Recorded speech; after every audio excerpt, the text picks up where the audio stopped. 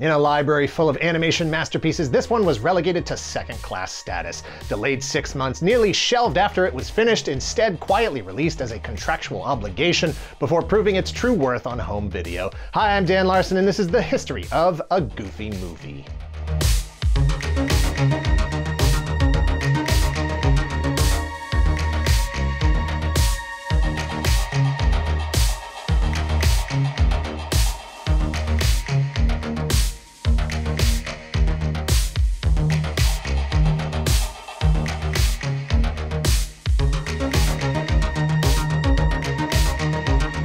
You to Helix Sleep for sponsoring this video. Click the link in the description below for up to $200 off your Helix Sleep mattress plus two free pillows today. Helix Sleep makes premium mattresses and bedding customized to fit your needs and conveniently shipped right to your door. They made the sleep quiz to match your unique body type and sleep preferences to make the perfect mattress for you.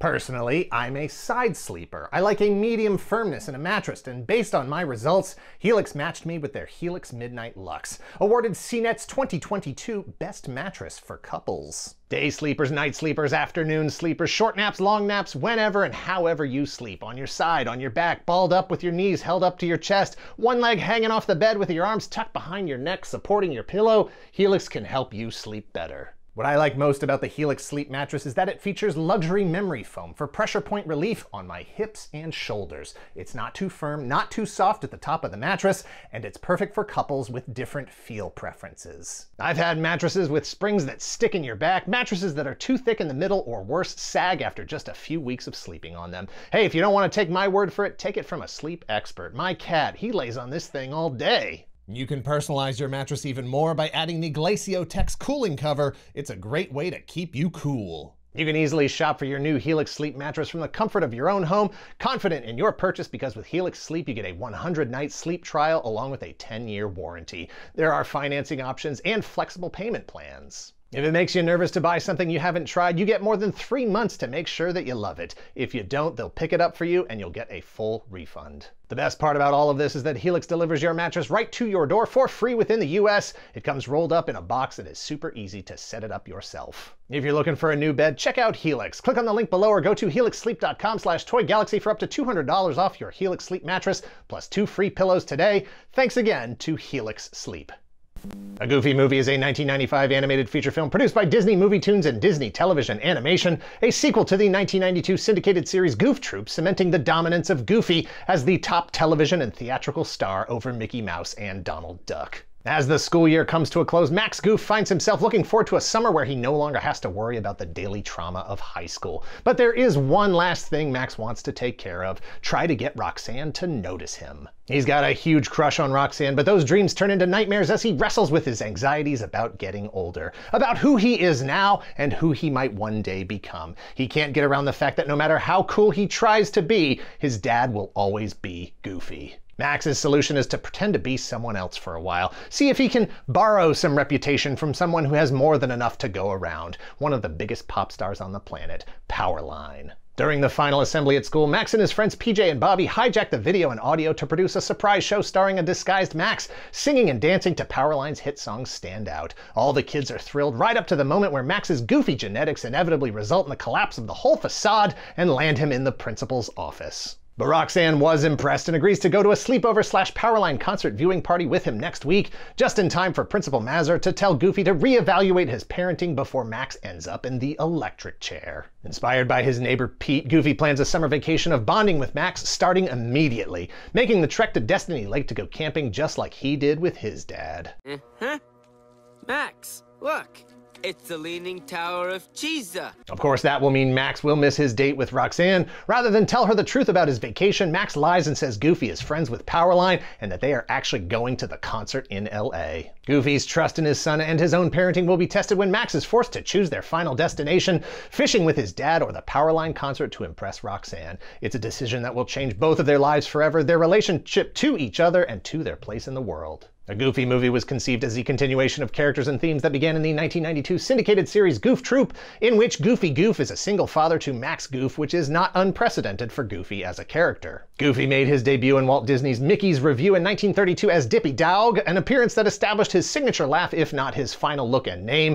By 1951, he had had several makeovers, and the focus of his cartoons had gone from background extra to Mickey and Donald's sidekick, then perennial victim in his own series of how-to videos, and finally, avatar of suburban mundanity. The 1950s cartoons featured Goofy as husband and father. While he was always considered human, despite his anthropomorphic dog features, this version nearly removed those aspects entirely in service of relatability. Instead of Goofy, he was now George Geef, his floppy ears shortened if not entirely hidden, his fur just the hair on the top of his head, and his voice a much more normal speech pattern without the emphasis on gowershing all the time. You say gowersh? Gowersh. That's it. That's the one. it's this Goofy that influences so much of Goof Troop. Created by Robert Taylor and Michael Peraza Jr., the series continues to explore the father-son dynamic by casting Goofy as more a figure of harmless familiarity as opposed to hapless dogman. Goof Troop technically ran two seasons, 65 episodes in daily syndication, while simultaneously airing 13 episodes on Saturday mornings, even though they both aired in a single year from 1992 to 1993. Part of the Disney afternoon block of cartoons, those 78 episodes would continue to air as reruns through 1996. A Goofy movie was the result of a suggestion from Jeffrey Katzenberg, head of Walt Disney Studios. Katzenberg had been the head of Disney Animation, among other things, since he was hired by brand new chairman and CEO Michael Eisner in 1984. Katzenberg was responsible for helping save Disney Animation from obsolescence. In 1984, the studio was floundering after the departure of veteran animator Don Bluth and several other animators to form Don Bluth Studios. That, combined with the money pit called The Black Cauldron, a film that was mired in production limbo for over a decade and cost $44 million to make $22 million. The first thing Katzenberg did when he arrived at Disney was personally recut The Black Cauldron, shortening it by 15 minutes, then kick it out the door, releasing it in 1985, five years after its intended street date. From there, things picked up. Katzenberg helped steer Disney Animation into an incredible streak of classics and box office hits over the next decade. Who Framed Roger Rabbit, The Little Mermaid, Beauty and the Beast, Aladdin and the Lion King. Beauty and the Beast is one movie. Aladdin and the Lion King are two different movies. Can you imagine? It was Katzenberg that initiated the idea of a Goofy movie and furthermore drew on his own experience for its central theme, generational bonding through prolonged car confinement. As a parent, he had recently had a breakthrough in the strained relationship with his own teenage daughter. He pitched the idea to Goof Troop story supervisor Jymn Magon, who put together a script for a full feature-length film, a sequel that would see Max grown up as if he had aged more realistically since the first season aired in 1992. During Goof Troop, Max was around 11 years old. For the movie intended to be released in 1994, he would be a teenager in high school. Disney animator Kevin Lima was brought on to direct and stated that one of their main goals was to give Goofy some emotional depth, make him a character instead of just a succession of antics. Many of the same cast members from Goof Troop were brought on to play the same characters in a Goofy movie. Jim Cummings returned as Goofy's neighbor Pete. Rob Paulsen was back as Pete's son, Max's best friend PJ. Max himself got a vocal adjustment. In order to further emphasize that Max was older now, Jason Marsden took over from Dana Hill with Aaron Lohr performing Max's songs. Kellie Martin played Roxanne. Blossom star Jenna von Oy played Roxanne's friend and student class president Stacy. And in an uncredited role, Pauly Shore played Bobby Zimuruski. Uh-huh. Max, look! It's the Leaning Tower of Cheesa. Goofy was played by Bill Farmer, the same person who'd been playing him since 1987. However, Katzenberg requested that Farmer use a regular speaking voice for Goofy, something that would have further humanized the character and thereby the story. Whether it was an intentional homage to Goofy's 1950s suburban adventures as George Geef or not, Farmer wasn't interested, insisting that the audience would probably want to hear a Goofy that sounded like Goofy. CEO Michael Eisner and Walt's nephew Roy Disney agreed with Farmer, authorizing the switch back to Farmer's goofy, goofy voice after nearly two weeks of recording dialogue. From Walt Disney Pictures, Max is the most popular kid in school. Max! Max! His girlfriend's a babe. Call you later. Okay. His best bud is cool. It's the Leaning Tower of Cheesa. There's only one problem. His dad's goofy. Morning, son! Dad! It's Goofy and Max. In the movie, Siskel and Ebert give two thumbs up. You look just like I did at your age. Please don't say that, Dad. A Goofy movie, rated G. Now playing at a theater near you. Music was a big part of a Goofy movie. It's not a musical per se, but at times it certainly functions like one. And not just because a concert and the biggest pop star in the world are central to the story. Carter Burwell composed a score that was later recomposed by Don Davis.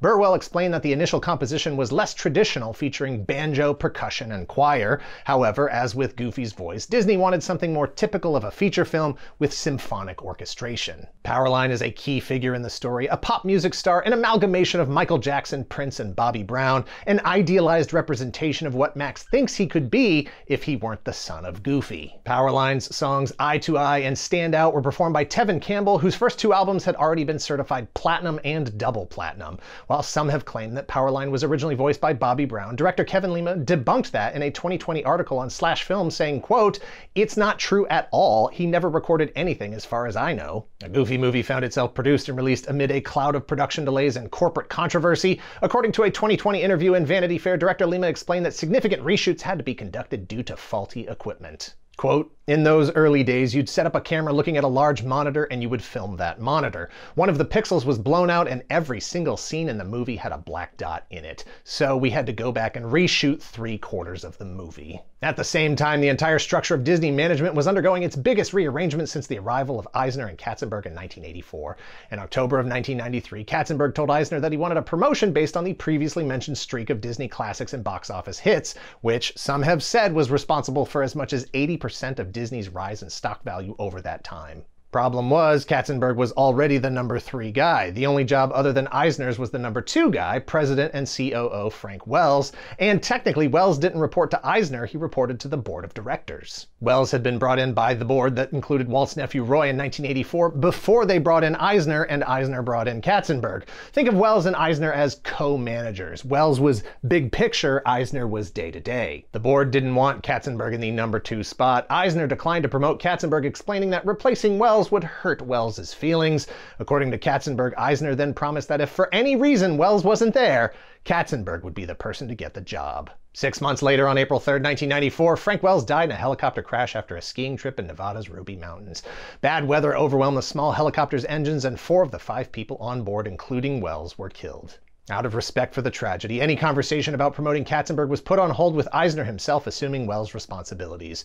The Lion King opened in June of 1994, and one month later, Eisner was hospitalized with chest pains and subsequently for heart surgery. Katzenberg was angry that Eisner hadn't made a decision. The media and shareholders were increasingly impatient, wondering who was going to replace Wells and when. Eisner was feeling pressure from all sides, and tensions ran high as he felt like Katzenberg was intentionally trying to force the negotiations into the public sphere. Eisner ultimately concluded that Katzenberg was the biggest threat to him within Disney and therefore fired him in August of 1994.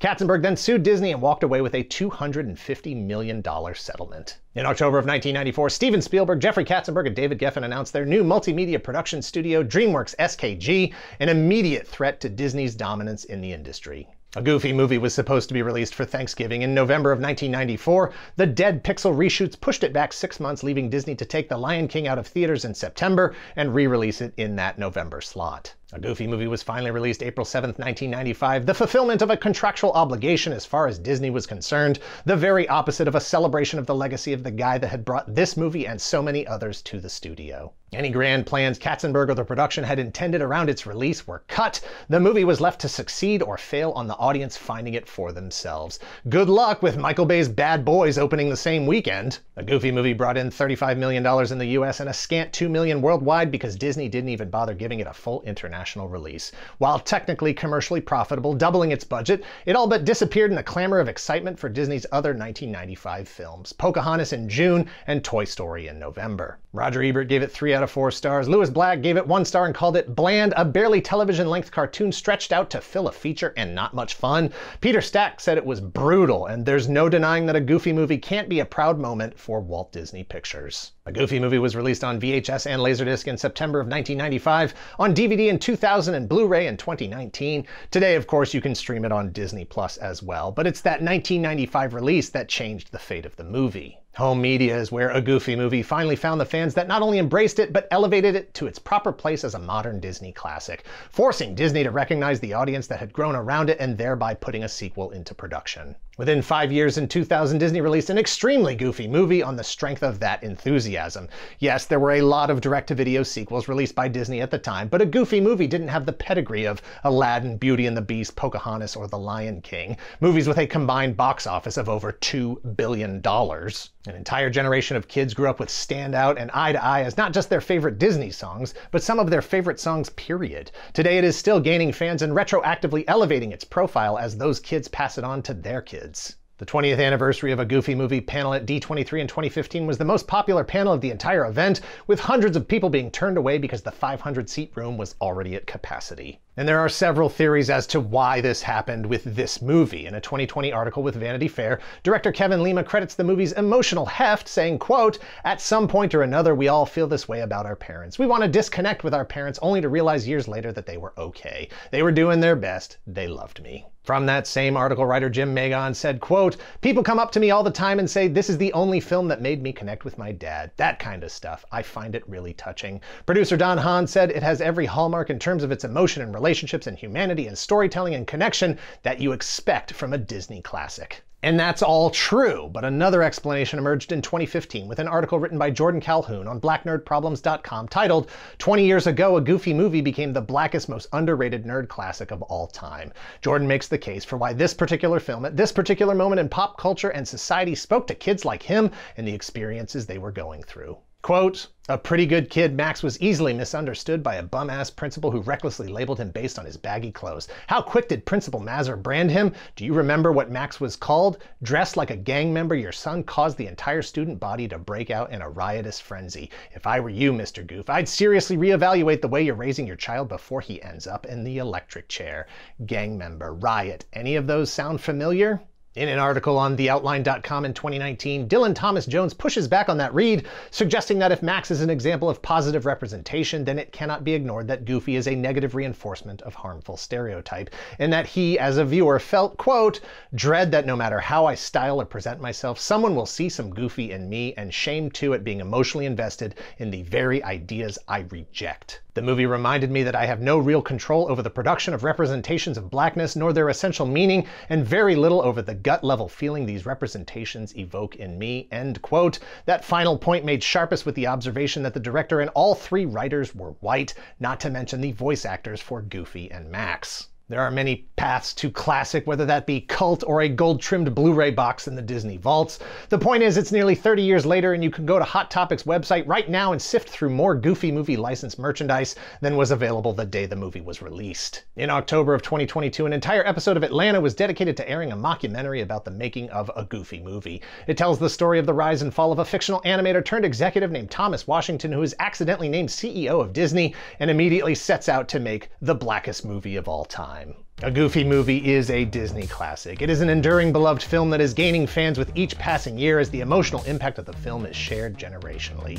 Viewers who related to Max finding themselves suddenly relating to Goofy and everyone singing along to the songs of Powerline. do I usually clap there? I never remember. I don't put it in the script, but I always do. Thanks for watching. Please hit like and subscribe if you're not already a subscriber. Thank you very much to those of you who already are. If you're in the position to help the channel grow, if you would like early access to the videos ad-free, please visit our Patreon at patreon.com slash toygalaxy and let us know in the comments down below if a goofy movie made an impact on your life. Disney Afternoon was regular viewing for me, so I definitely knew about Goof Troop. By the time a goofy movie came out, I was working at a movie theater as an usher, so while I did see the entire movie eventually, I never saw it in a single sitting until years later. A weird way to see movies, but such is the life of an usher. Telling kids to be quiet, cleaning up wet popcorn, and stretching a 90 minute movie into 15 minute chunks over the course of three weeks. Cut. That's how I still watch movies.